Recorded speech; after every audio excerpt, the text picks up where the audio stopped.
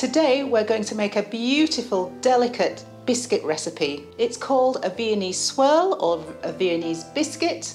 Whatever you call it, it's delicious and you're gonna love it. So get your tablets, your recipe books, wherever you keep your recipes, and let's bake. Here we have 250 grams of butter. It can be salted or unsalted. 50 grams of icing sugar, 50 grams of corn flour or cornstarch, and 250 grams of plain flour. To you, that might be all-purpose flour. And let's not forget the most important ingredient, our quarter of a teaspoon of salt.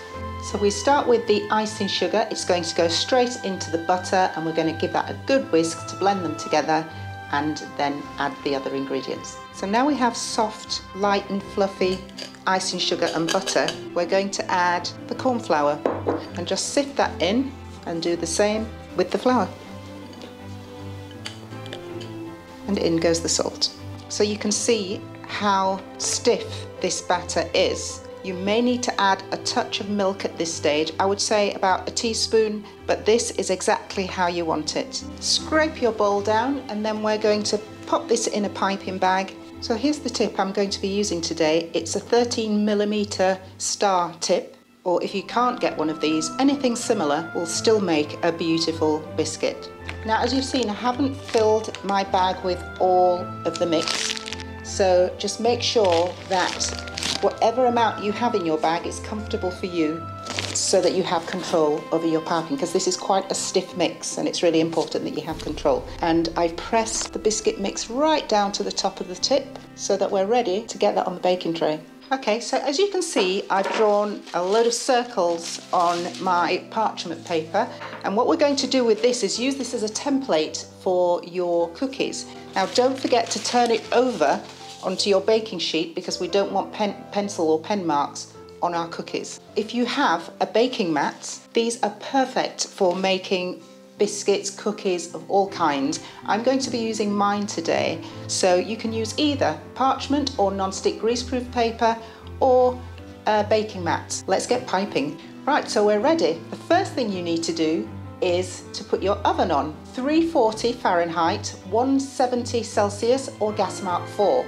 If you live in a really hot country, once you've piped your biscuits, pop them in the fridge for maybe 15 to 20 minutes and then put them straight in the oven. Let's pipe. First one we're going to do is a classic swirl and you really have to press with this one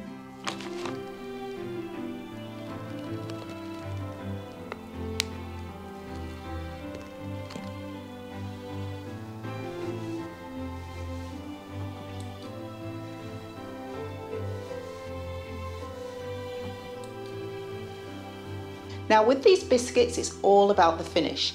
You can decorate before they go in the oven and also after they come out of the oven. And I'm going to show you both today.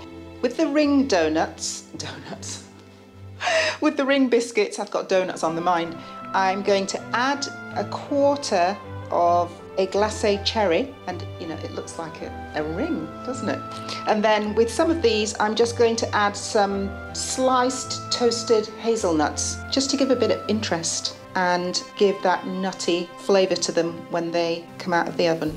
And the rest we're going to decorate when they come out of the oven and have cooled. So after about 17 minutes, these are out of the oven, lightly golden brown, looking delicious.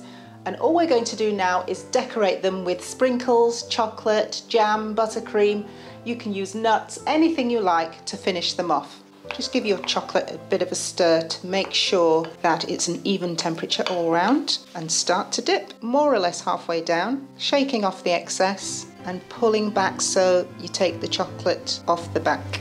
I'm going to add a few sprinkles to this one.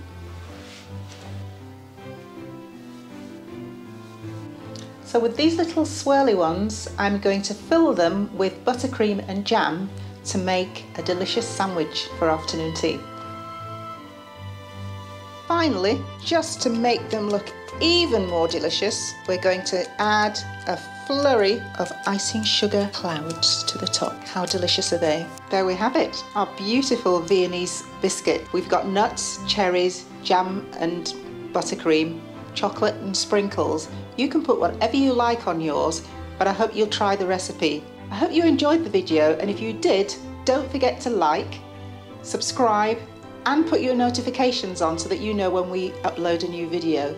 Comment in the box about the recipe, whether you made it, whether you've tasted them before, whether you'd like us to do something different, and we'll definitely reply to your comments. Hope you've enjoyed it and we'll see you next time.